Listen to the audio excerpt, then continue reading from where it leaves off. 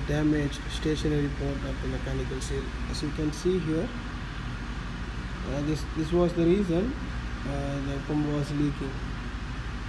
This is the reason. So hi my friends. So this is the the mechanical seal. You can see here. So this is the the stator portion. So this is not going to rotate. So this is the the, the rotary rotating equipments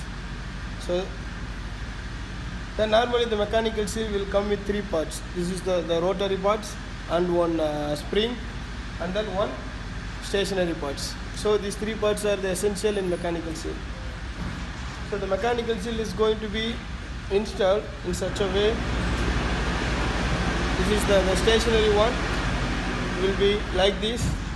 Then above to the stationary one the rotary one will fit like this so this is how the seal will works. So the stationary lip and the rotary lip it will touch together. So this is how the mechanical seal works. Rotary will rotate always. The stationary will remain as stationary. So the after that this is going to be installed like this. So this is the way of install the mechanical seal. This is the way of install the mechanical seal now we are going to now we are going to install the the rotary part of the mechanical seal. So this is separate part. Put it inside. So the the spring will go inside. And after that install the the rotary part. So before you install you please check that the lip. The rotary part lip should be should be not damaged. Then put it like this. Then press it gently. Then just like that. In the seal uh, the rotary part you can see the number of the seals. Then you can just gently press inside.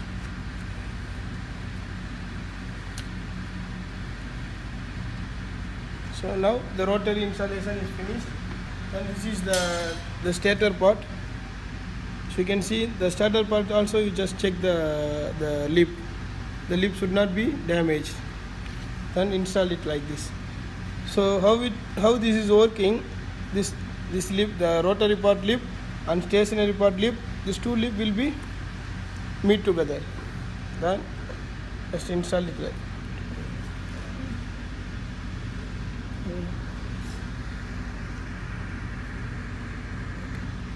so now you can see this two lip is going to meet together. So now it's almost meet.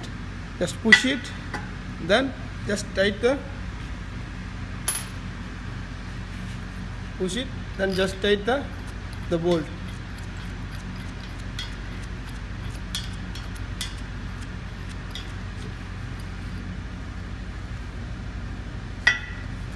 Just tight the bolt then tight the opposite bolt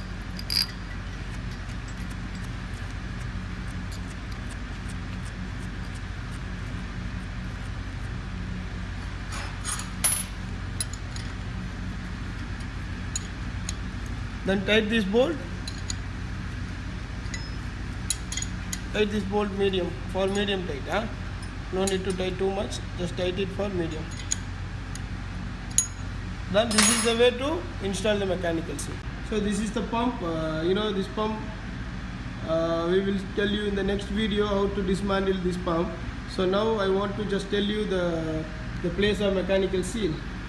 So the mechanical seal is in inside. So after this the bearing the power frame will be connecting. This power frame will connect.